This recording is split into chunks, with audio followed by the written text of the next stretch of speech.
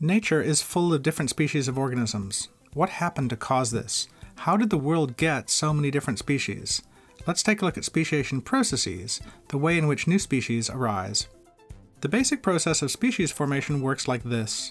First, two species start as a single reproductively connected group. This is just one species to start with. Then two groups diverge so that they're not reproductively connected. This is the next step to creating two species. For the final step, these two groups must remain disconnected even if in the same place. The isolation of the two new groups has to be based on their biology, not just their location or opportunity. In this video, we'll look at four main modes of speciation that have been defined, allopatric, peripatric, parapatric, and sympatric speciation. At the very end, I'll also mention another form of speciation that a lot of textbooks don't talk about.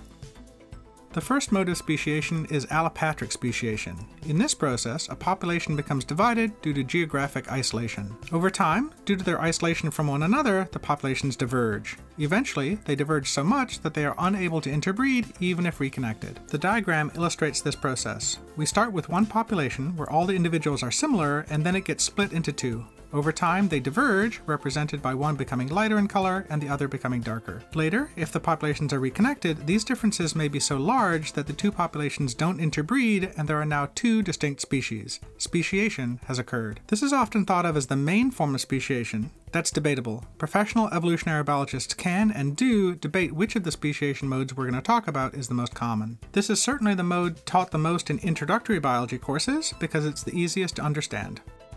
A famous example of allopatric speciation comes from Darwin's finches. Darwin's finches are 18 species of birds, and they're actually tanagers, not finches, in the Galapagos Islands. Their closest relative is the yellow-faced grassquit, which lives in Central America. When we make a phylogeny for them, they're a monophyletic group descended from a single migration event about 2 million years ago. Across the islands, there are a number of different species, and while they have evolved to have a variety of different morphologies and lifestyles, including one vampire species, they are all more closely related to one another than they are to any other species outside of the Galapagos. Speciation therefore seems to have happened on the different islands after a single immigration event, otherwise the finch species would be paraphyletic or polyphyletic. This is because multiple migration events would result in some of the later arriving species in the Galapagos being more closely related to the mainland than the finches that were already there. By the way, I've put links to scientific papers which include more details in the video description below. For example, this phylogeny is a version of one from a paper in the Auk published in 2018. There's a link to that paper below. Throughout this video, I've simplified the examples I'm talking about, but if you want all the details, just check out the original papers.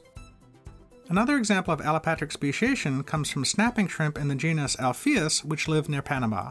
Approximately 3 million years ago, a land bridge formed, isolating populations of the shrimp on each side. The pattern of the phylogeny for these shrimp makes it obvious that the land bridge divided a series of populations, doubling the number of distinct lineages.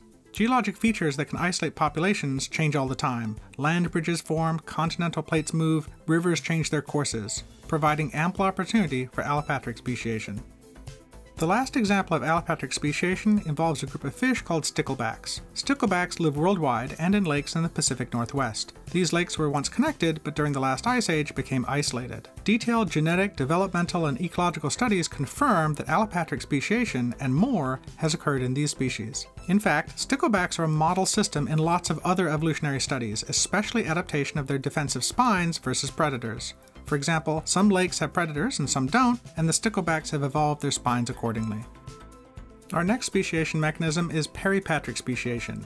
In this scenario, a very small population becomes separated from a main population. Allopatric speciation occurs, but small populations are prone to genetic drift and founder effects. These random effects mean that the speciation happens quicker and coincides with dramatic genetic and morphological changes. You can think of this as a subset of allopatric speciation, but quicker and with random factors playing a larger role due to the small population size.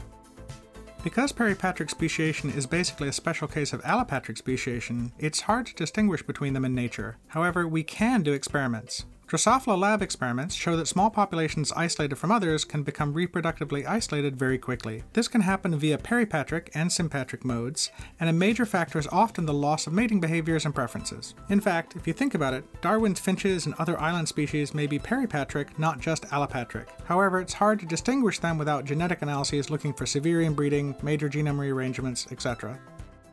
Even though peripatric speciation is just a special case of allopatric speciation, it may result in different modes of evolution. Because of this, peripatric speciation was invoked by Eldredge and Gould as a mechanism for their proposed model of evolution by punctuated equilibrium. This is the name for a pattern of evolution with periods of stasis punctuated by periods of rapid change that occurred during peripatric speciation events. This punctuated equilibrium model was proposed in the 1970s and created a big debate about how speciation itself may be directly related to most morphological change. The debate has has mainly been resolved in favor of gradualism as the primary mode of evolutionary change, albeit with some space for rapid change. Gould and Eldredge's claim about these changes always coinciding with speciation is not widely accepted. The consensus is that there is little evidence that this speciation process is as widespread and important as the others. Our third speciation process is parapatric speciation. In this scenario, a population experiences a range of conditions across its distribution. This leads to differing local adaptations and traits. This is conceptually illustrated in the figure by one end of the distribution adapting to become dark while the other is light. While each end of the distribution may be well adapted to one set of conditions, the hybrids between them in the hybrid zone may be less fit because they're not well adapted to either condition. If that occurs, then selection favors reduced mating with dissimilar individuals. Reinforcement, which we'll talk about later, can lead to reproductive isolation. It can be hard to demonstrate parapatric speciation since there is still some gene flow, but there are some examples. A cool example involves little green bulls, Andropadus virens, a small green bird which lives in the rainforest and ecotones, forest edges, in Cameroon. Smith et al. from 1997 measured morphological traits like tarsus length and beak size from 12 different populations. Six populations were from the forests and six were from the ecotones, as shown in the figure. They also used genetic data to measure migration rates between the populations. They then compared each pair of populations. The figure shows what they compared. On the x-axis, they looked at the gene flow as measured by the migration rate. On the y-axis, they showed the morphological divergence, how different the physical traits of the populations were from each other.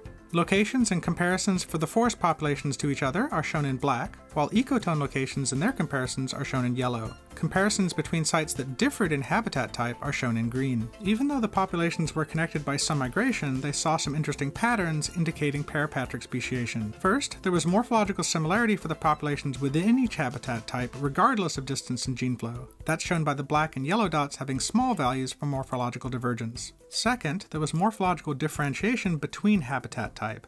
That's shown by the green dots in the figure being higher than the black or yellow dots. Lastly, the morphological distance seen, those values of 3 and 4 on the y-axis, are as big as the values obtained for comparing other completely different species to each other. Although these birds are still reproductively connected, for now, the populations that live in the different habitats now look like two completely different species. The last of our major modes of speciation is sympatric speciation. In this mode, no spatial separation or barriers are required. In sympatric speciation, local conditions create behavioral variability in resource use. This leads to positive assortative mating due to proximity. It can also lead to small-scale parapatric type effects. This is illustrated in the figure by the new species arising completely within the range of the other. Again, the key factor is that no physical or geographic barriers or distance is involved.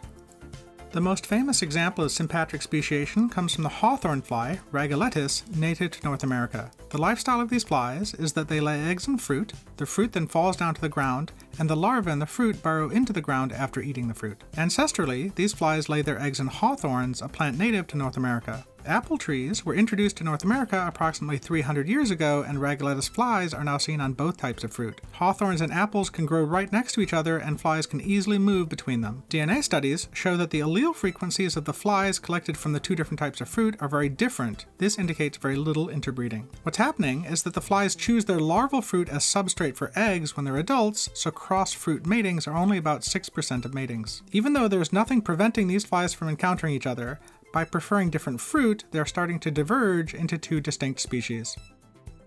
Another famous example of sympatric speciation comes from East Africa Rift Valley cichlids. In addition to allopatric speciation in the lakes, there are also phenotypically and genetically distinct morphs within multiple lakes, lakes Malawi and Masoko in particular. These different color fish live in different parts of the lake, littoral versus benthic, and have different diets. Phylogenetic studies indicate that the littoral and benthic populations in the lakes, Lake Masoko for example, are more closely related to each other than they are to any other fish. These two species diverged after being separated as a single population when the lake formed. While they use different parts of the lake, littoral ones use the shoreline, whereas benthic ones swim deeper, they are often encountered together and mix easily. Detailed studies have shown that sexual selection seems to be involved in assisting with the reproductive isolation. Incidentally, the sticklebacks from earlier also seem to be sympatrically speciating in their lakes too. Sympatric speciation in lakes seems to be common. This brings us to something that's important in all of these speciation processes.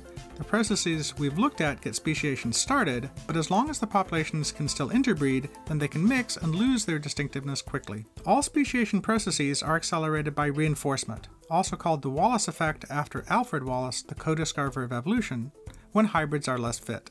Initial post-zygotic factors such as outbreeding depression, lowered fitness and crosses between two very different individuals, or inviable zygotes will select for pre-zygotic isolation.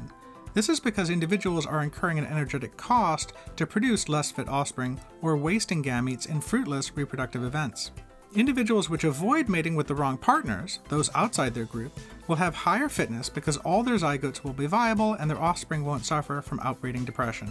This leads to selection for prezygotic isolation mechanisms like gametic isolation, where the eggs don't get fertilized, sexual isolation, for example, mismatched genitalia, required mating behaviors, differing mating times, and finally ecological separation, where they don't encounter the other individuals at all and risk making hybrids.